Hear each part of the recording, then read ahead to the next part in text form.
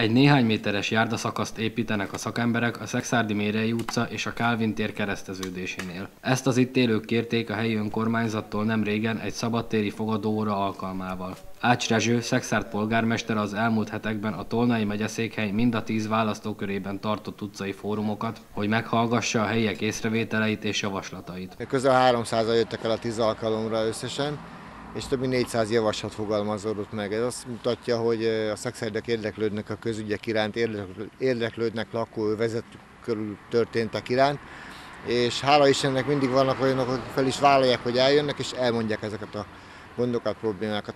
A városban élők javarészt elismerően beszéltek az elmúlt évek helyi fejlesztéseiről, mondja Ács Rezső. A legtöbb kérdés és észrevétel azzal kapcsolatban érkezett, hogy hol várhatóak út- és járdaépítések, valamint hogy tervezé az önkormányzat a parkolók számának növelését. Felvetették a szexáriak, hogy nem tudnak a saját házuk előtt több helyen megállni, ahol nem fizetős a parkolóvezet, és kérték azt, hogy valamilyen megoldást keressünk annak érdekében, hogy amikor ők hazamennek este vagy hétvégén, akkor meg tudjanak a saját épületük, saját házuk előtt állni.